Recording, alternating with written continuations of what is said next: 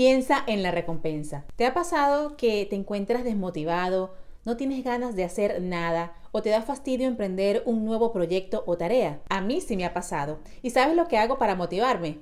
Pienso en la recompensa. Pienso en cómo me sentiré cuando haya terminado con ese proyecto o tarea.